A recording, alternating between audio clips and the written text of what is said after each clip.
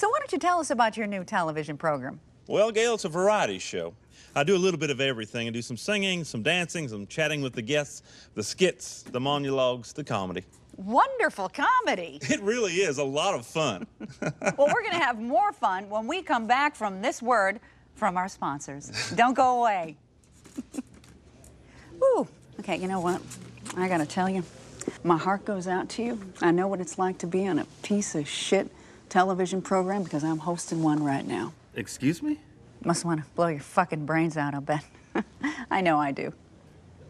And we're back with Mr. Dewey Cox, and we're talking about the fun he's having on his show. But right now, let's talk about your lovely wife, Darlene. How's she doing? Darlene and I separated some years ago, Gail. Oh, okay. Mm. Guess I didn't do my homework.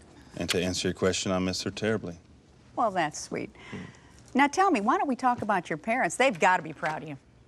Well, my mom is dead, and my pa and I don't uh, speak to each other, so we're not very close. We can always cut around this if it gets too pathetic. Tell us about your kids. I know you got a whole slew of them. What's going on with them?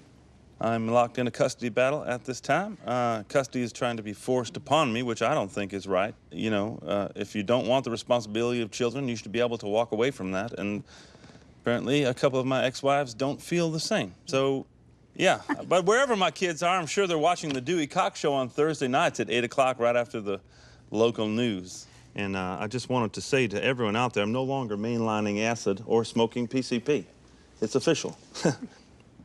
um, okay. Why don't uh, lighten it up just a bit here? Tell me, you're so busy, Dewey Cox. Do you have time to stop and smell the roses? I've got no fucking sense of smell. All right, I'm done. All right, okay. Come on now, folks. That would have been nice information research. to have. Yeah.